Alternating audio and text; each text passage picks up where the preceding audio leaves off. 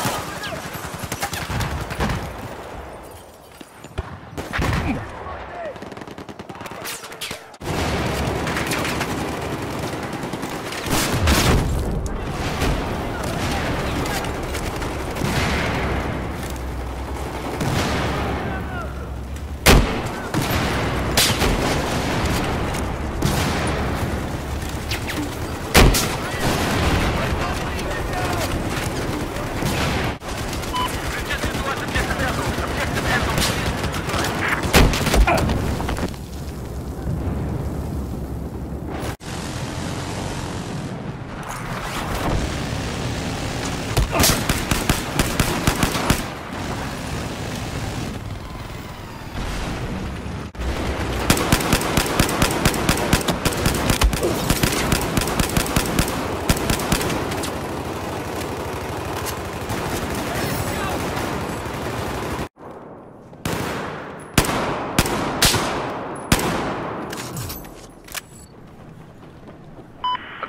Bravo.